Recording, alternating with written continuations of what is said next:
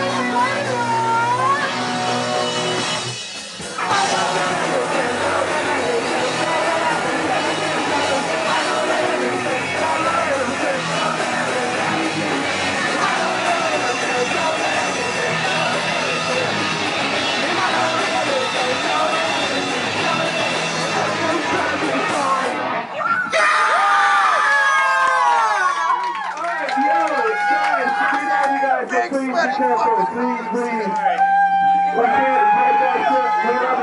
it.